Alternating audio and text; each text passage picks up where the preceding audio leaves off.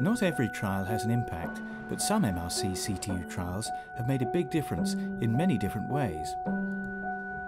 Perhaps the most important impact our trials have had is on the treatment of patients, both in the UK and elsewhere.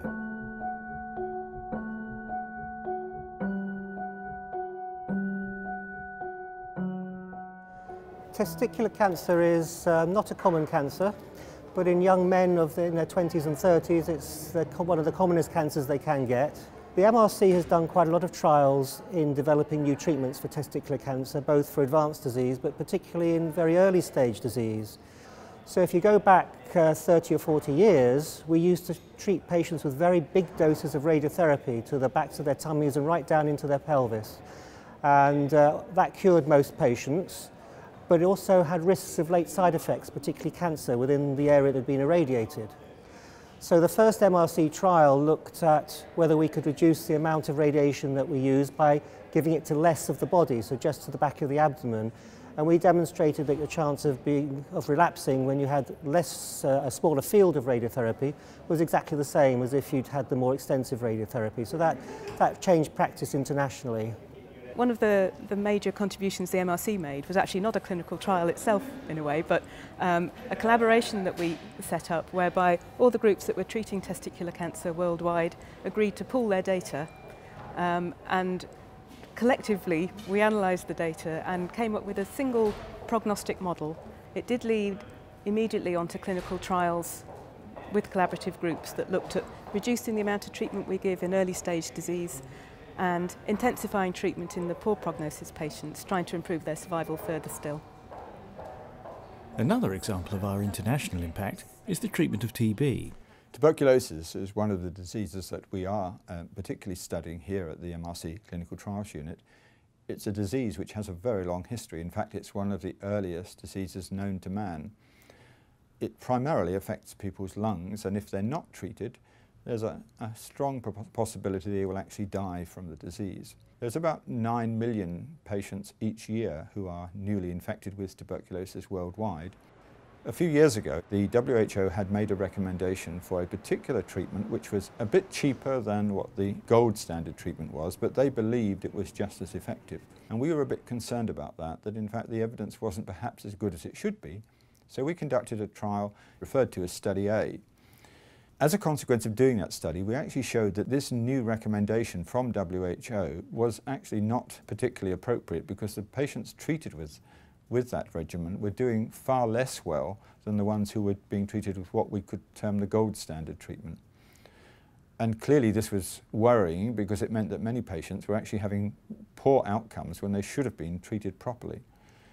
When the trial got published in The Lancet um, early in around about 2004, WHO decided that that recommendation should be completely removed uh, and that patients should only be recommended to receive the original recommendation, or the gold standard one, because in fact otherwise they would be being treated with inferior treatment. Another example of the impact of our trials is on the treatment of babies affected by HIV, where the CHER trial has led to lives being saved. The CHER trial, which we did with our colleagues in South Africa, part of it was really asking about early treatment versus deferring treatment according to guidelines in young babies who've just been diagnosed with HIV infection. The deferred group, those who started treatment later, um, had higher death rates than the groups that started early. And so the data monitoring committee, who were looking at these data very carefully as the trial was going along, advised that the trial stopped early. So as soon as those results came out, um, they were taken up by guideline groups around the world, including the World Health Organization.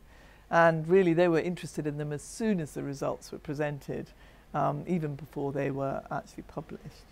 Um, so guidelines had really actually changed that policy and advised starting early in all babies who are diagnosed with HIV infection, um, about the same time actually, or even before the full paper came out. Half of the babies with HIV infection born in Africa are dead by the age of two.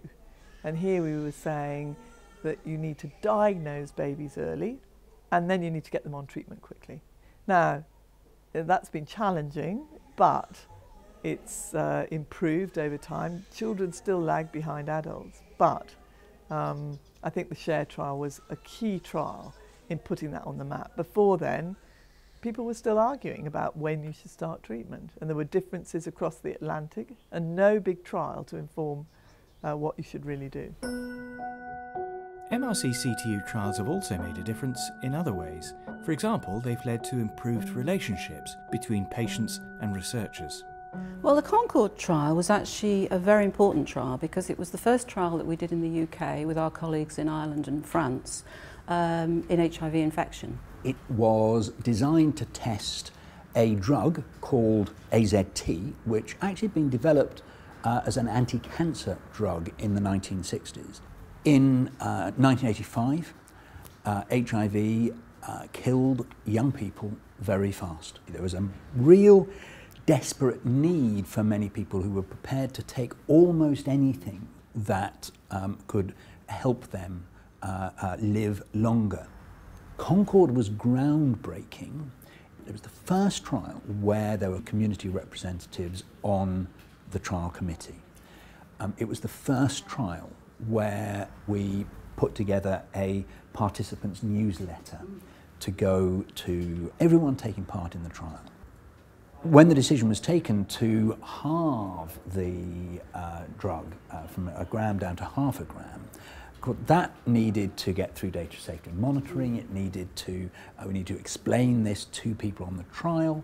Um, and if we hadn't started developing the, uh, a regular newsletter, we wouldn't have had the ability uh, to do that. Remember, we were asking people to be on this trial for over three years. And one of the other things the Concorde trial did was it educated, enthused and inspired a whole generation of community treatment activists.